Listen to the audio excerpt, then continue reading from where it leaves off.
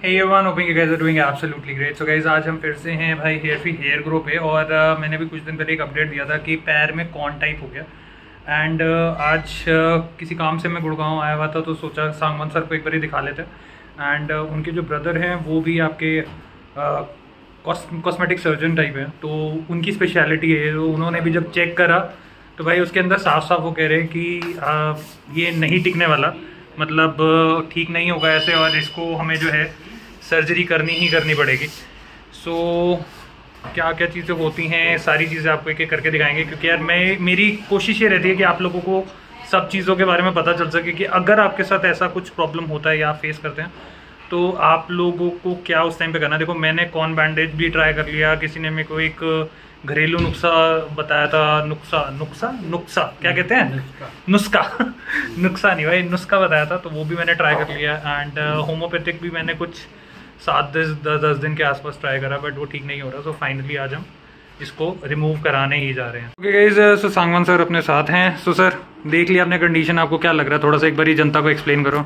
ये कौन है? बेसिकली ये कौन सेप के होते हैं? जैसे आपने आइसक्रीम के कौन देखे होंगे। Okay. तो जहाँ भी प्रेशर होता है फिर ये पेन फील होता है हम्म। इसमें इसलिए इन्हें निकालना ज़रूरी हो जाता है। नॉर्मल कैलेसिस अपने आप भी ठीक हो सकते हैं।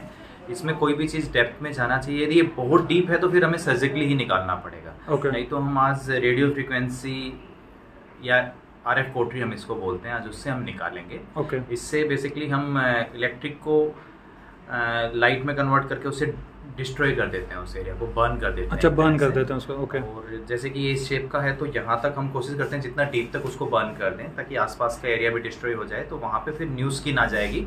और कौन वाली स्किन पूरी तरह से हट जाएगी। तो ये कितने दिन लग जाएँगे इसको पूरा हील व्हील होने में? जैसे कि आपकी डेप्थ में देख रहा हूँ आराम से हो जाना चाहिए थ्री टू फोर डेज़ में हील Okay. ठीक है? यदि सर्जिकली जाएँगे तो फिर डेफिनेटली टेन डेज़ आप लेके चलिए। पर अभी रेडियो से करते हैं हम। तो आप जैसे मेरे को काफ़ी सारे लोग कह रहे थे कि भैया आप कौन बैंडेज लगाओ? मैं कौन बैंडेज तो लगाया बट आपको लगता है कि उससे कुछ हो सकता था सुपरफिशियल कौन से होते हैं? कैलेसिस होते हैं कौन बैंडेजेस या फिर कुछ क्रीम्स या कुछ सोल्यूशन आते हैं उनसे हट सकते हैं बिल्कुल।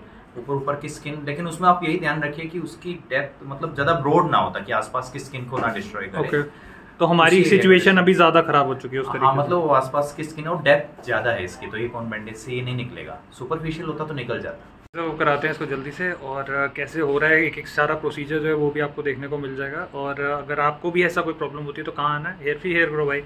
हर चीज़ का एक ही एक, एक ही सोल्यूशन हेयर फ्री हेयर है ना? अभी हम हेयर रिमूवल भी जो है वो भी कराने की सोच रहे हैं जो पीठ के मेरे बाल है बहुत ज़्यादा है मतलब मैं एक तरीके से मैं एक तरीके से अनिल कपूर समझ लो दूसरा वैसा वाला सीन है भाई मेरा। तो वो भी कैसे होता है क्या क्या चीज़ें होती हैं और क्या उसका एक्सपेंस आता है वो सारी चीज़ें भी हम कवर करेंगे वो पर एक अलग वीडियो होगी पिन है?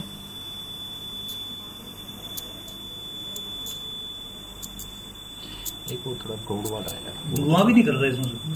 तो बर्न तो कर ही रहा है ये बस अब। पेन तो नहीं हो रहा ना बस। मेरे को यही मेन है। पेन नहीं हो रहा है।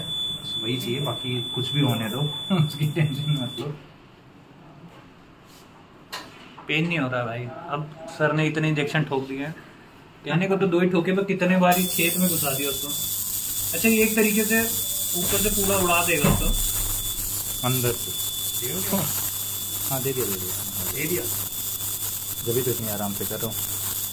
यहीं पे दिया। डिजिटल डिजिटल दिया। है अब तो पूरा अंगूठा भी काट दो तो भी ठीक नहीं होगा। कितनी ज़्यादा बर्निंग स्मेल आ रही तो इसमें तो आप साइड से अब तो पेन बढ़ना होगा साइड एक्चुअली कौन सेफ़ है ना? साइड से किस लिए जाना? हमें तो अंदर ही जाना होता। है सर्जरी वाले तो साइड से ही जाएँगे। साइड से जाता है। क्योंकि अंदर कैसे कटेगा ना? प्रेस नहीं आ जाए skin। हमें ज़रूरत नहीं है ना ये हमारा तो सेंटर से कौन सेफ्ट में ही जा रहा हूँ ऊपर से ज़्यादा जाएगा।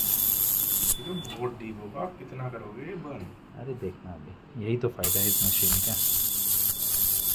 दूसरी साइड में निकल अब आप थोड़ा अंदर अंदर जा रहे हो तो फीटिंग आ रही है। बस ठीक है गोल स्किन आ गई अब ये खुद गिरेगा मतलब इसे हटाना नहीं। अरे ये बड़ा अंदर तक गया है ये पूरा ये सोचना। देखा अभी मैं वही कह रहा हूँ कि हमें कोई वो नहीं। अब अंदर इनको फीलिंग आने लगी मतलब नॉर्मल स्किन पे जा रहा है जब भी फीलिंग आने लगी। ये इसकी लाइट जो है ना मेन तो वो पावर है ये टच से कोई फ़र्क ही नहीं पड़ रहा। वो डिस्ट्रॉय कर रही है ना ये तो सिर्फ़ एक ऊपर से दिखने वाली चीज़ है।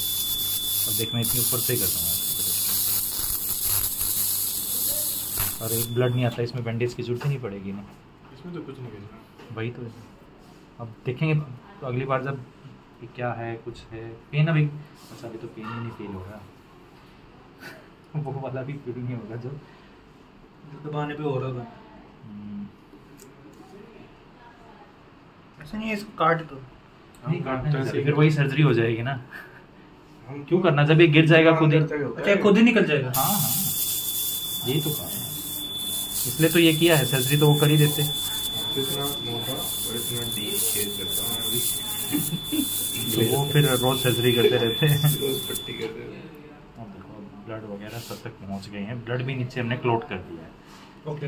तो अब ये पूरा का पूरा अंदर से बर्न कर दिया है एंड इस पर एक ऑइंटमेंट लगानी है ताकि कोई इन्फेक्शन वगैरह जो है वो अपना ना हो एंड इतना भारी आ गया भाई अभी बर्न करने की वजह से अंदर से एंड खून निकल रहा है अंदर से जो कि ये सारा का सारा सूख गया है। तो अंदर अपनी जो ओरिजिनल स्किन है जो हार्ड नहीं है वो मतलब पहुँच गए थे सर वहाँ तक। एंड इसका मतलब एक तरीके से हमें सर्जरी करने की ज़रूरत नहीं है, आप कुछ भी इसमें पट्टी वगैरह करने की ज़रूरत नहीं है ऑटोमेटिकली जो है हमारा क्रीम लगा लगा के बेसिकली बाहर आ जाएगा।